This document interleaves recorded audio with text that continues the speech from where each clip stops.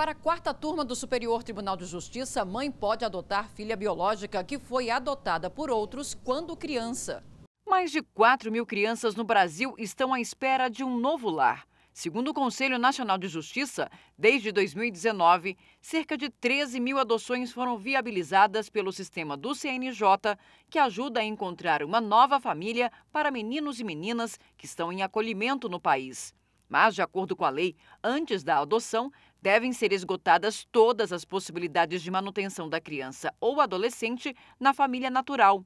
Esta advogada explica que, conforme o Estatuto da Criança e do Adolescente, após a conclusão do processo de adoção, a medida torna-se irrevogável. Ninguém poderá desistir da adoção uma vez que ela tiver sido concluída, tiver uma decisão do juiz que decretou né, que a adoção foi feita, então ninguém mais pode voltar atrás.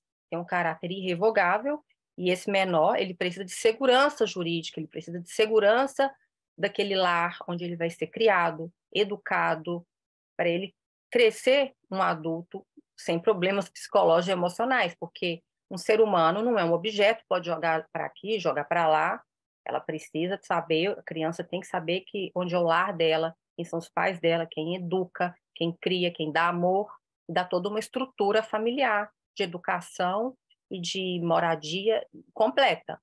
Em um caso julgado pelo STJ, a quarta turma decidiu dar provimento ao recurso especial de uma mulher para permitir que ela adote sua filha biológica, que foi adotada por um casal quando criança. No recurso, a mãe biológica explicou que entregou a menina para adoção porque naquela época enfrentava dificuldades pessoais e financeiras, mas que visitava frequentemente a criança e que sempre teve uma boa relação com os pais adotivos. Segundo ela, com o passar do tempo, surgiu a vontade recíproca de se tornarem mãe e filha novamente, com a concordância dos pais adotivos. Em primeira instância, o juiz considerou que o pedido violaria o estatuto e comprometeria a segurança jurídica das relações parentais decorrentes da adoção. Entendimento mantido pelo Tribunal de Segunda Instância.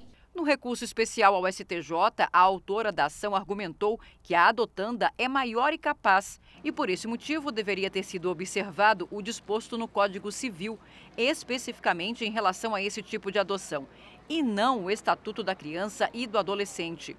O relator ministro Raul Araújo destacou que a adoção é irrevogável para evitar que os adotantes se arrependam e queiram devolvê-lo. E no caso sob análise, apontou que todos os requisitos legais da adoção de maior capaz foram preenchidos, conforme o estabelecido no Código Civil.